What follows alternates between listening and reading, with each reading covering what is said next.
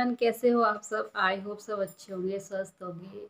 और मैं भी ठीक हूँ। Welcome to my channel been housewife तो फ्रेंड्स आज मैं मूली, गाजर और मिर्च का अचार डालना बताऊँगी, कैसे डालते हैं। और वो सालों साल या मतलब एक दो महीने तक नहीं ख़राब होता। इस तरीके का मैं अचार बनाना सिखाऊँगी। बहुत ही ज़्यादा टेस्टी और मतलब अगर आप एक रोटी की भूख रखते हो ना तो दो रोटी खा लेंगे। उस अच्छा। फ्रेंड्स अगर आप मेरे चैनल पे न्यू हैं तो प्लीज़ मेरे चैनल को सब्सक्राइब कीजिएगा, वीडियो अच्छी लगे तो लाइक, शेयर, कमेंट कीजिएगा।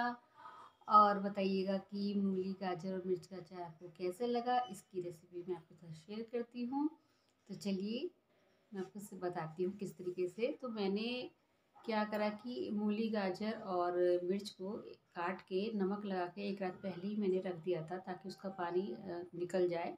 और अचार ख़राब नहीं होता। इस तरीके के बनाओगे ना तो बिल्कुल भी ख़राब नहीं होगा अचार। और अगर आप इंस्टेंट अचार बनाओगे तो वो तो इंस्टेंट अचार आपको बहुत जल्दी ख़त्म करना पड़ेगा, वरना तो ख़राब हो जाता है। और जो मेरा बताया हुआ तरीका है, वो महीने, दो महीने या फिर साल भर तक अचार बहुत ही अच्छा चलता है। तो चलिए, मैं आपको बताती हूँ इसकी रेसिपी कैसे बनाती हूँ मैं।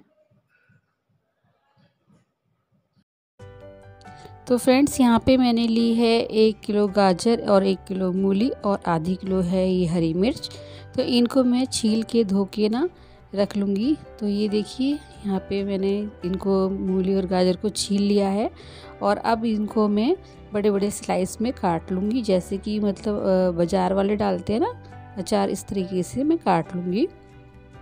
और ये मोटे मोटे ही काटूँगी क्योंकि नमक लगाने के बाद ना इसमें थोड़ा सा ये पतली हो जाती हैं सूख जाती है ना।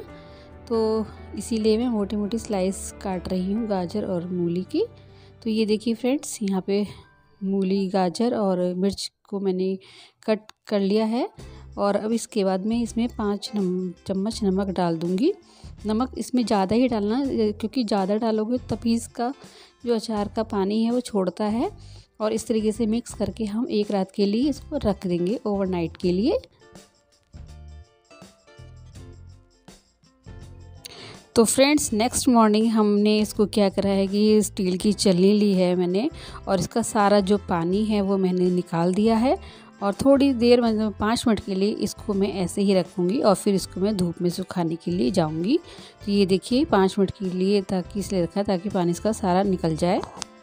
और अब लेकर मैं आ गई हूँ धूप में तो यहाँ पे मैंने एक साफ़ सुथरी दुपट्टा बिछाया है चुन्नी बिछाई है तो उसके ऊपर मैं ये सारा अचार को मैं फैला दूँगी और ये एक दो घंटे धूप लगने के बाद इसको मैं अचार डालूँगी। और फ्रेंड्स, अब हम ये अचार का मसाला तैयार करेंगे तो मैंने यहाँ गरम तवा कर दिया है और मैंने यहाँ पे दो चम्मच जीरा लिया है और ये हैं राई के दाने।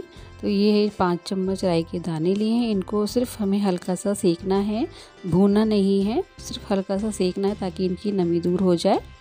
और इसको फिर एक प्लेट में ट्रांसफ़र कर लेंगे। उसके बाद फिर से तवा रखेंगे गैस पर। और यहाँ पे पाँच छः चम्मच मैंने सौंफ ली है, मेथी के दाने लिए हैं चार, पाँच चम्मच। और ये है राई। तो यहाँ इनको भी मुझे ऐसे ही हल्के उसमें सेकना है। देखिए फ्रेंड्स याद रखिए कि आप इनको बिल्कुल भी भूनेंगे नहीं, ताकि फिर ना भूनोगे तो फिर ये बेकार हो जाएगा। सिर्फ़ आपको इसका मॉइस्चराइजर निकालना है। तो ये सारा जो भी मसाला है, मैंने इनको हल्का गर्म करके एक प्लेट में ट्रांसफ़र कर लिया है। और फ्रेंड्स, मेरे बताए हुए ये जो अचार है ना, बहुत ही ज़्यादा टेस्टी बनता है। प्लीज़ एक बार ट्राई करके देखना। आपका अचार कभी भी ख़राब नहीं होगा और बहुत ही बढ़िया अचार बनता है। सच में फ्रेंड्स देखो इंस्टेंट अचार ना जल्दी ही खाया जाता है और ये जो अचार होता है ना, आप इसको स्टोर करके महीनों तक रख सकते हो, बिल्कुल भी ख़राब नहीं होगा। और अभी ये सारे जो मसाले हैं, मैंने अच्छे से इसको, इसका मॉइस्चर निकल गया है और मैं अब इसको मिक्सर ग्राइंडर में बिल्कुल दरदरा पीसूँगी, बारीक तो नहीं पीसना है हमें, क्योंकि अचार में मसाला दिखता रहता है ना तो और भी मतलब अच्छा लगता है दिखने में भी और खाने में भी।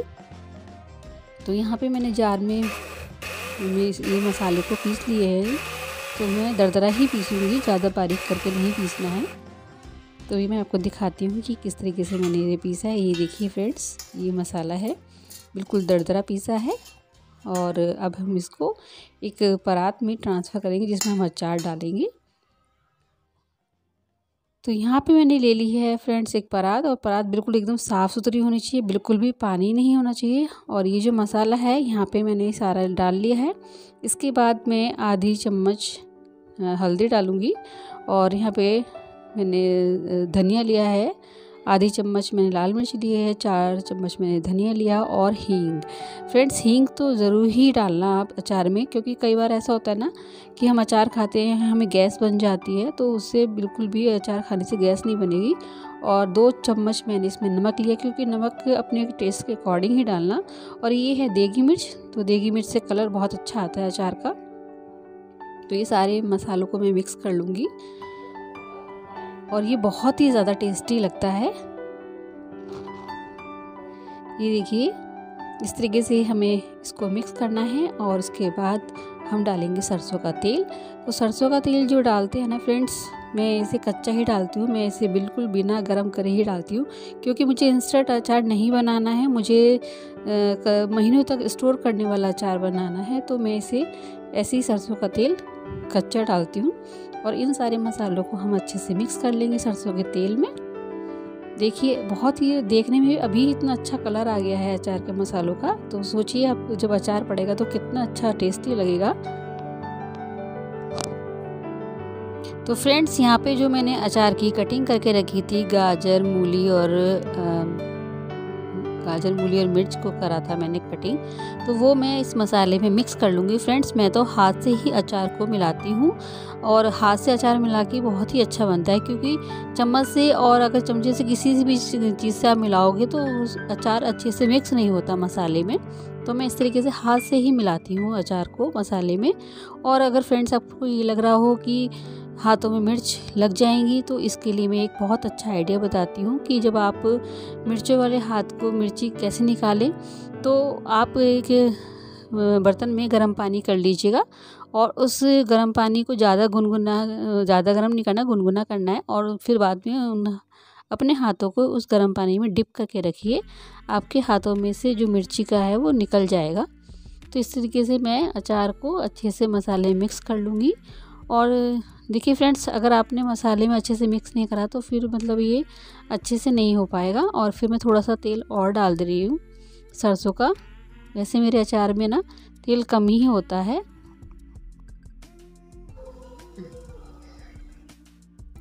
तो फ्रेंड्स, उसके बाद अचार को अच्छे से मिक्स करने के बाद हम इसको एक डिब्बे में भर लेंगे। और डिब्बे को बिल्कुल एकदम साफ़ सुथरा होना चाहिए। और यहाँ पे मैंने एक डिब्बा धो के ना सुखा लिया था। और इसमें बिल्कुल भी पानी नहीं होना चाहिए और अच्छे से इसको दबा दबा के इस अचार को हमें रख देना है और कम से कम तीन दिन के बाद इसे, ये अचार बिल्कुल अच्छी तरीके से तैयार हो जाता है। अगर आपको ज़्यादा मतलब जल्दी है तो थोड़ा सा आप इसे धूप में रखेंगे तो ये दो दिन में तैयार हो जाएगा अचार और ये बहुत ही टेस्टी अचार बनता है। प्लीज़ एक बार ट्राई करके ज़रूर देखिएगा मेरे बताए हुए तरीके से इस अचार को। अगर आपको एक रोटी की भूख होगी तो आप दो रोटी खाएँगे इस बात की मेरी गारंटी है।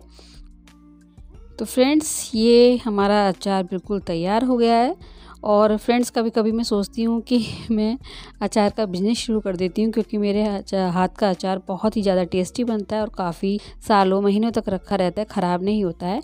और मेरे अचार की रेसिपी कैसी लगी तो प्लीज़ मुझे बताइएगा। अगर चैनल पर न्यू है तो सब्सक्राइब कीजिएगा चैनल को। लाइक शेयर कमेंट कीजिएगा. Thank you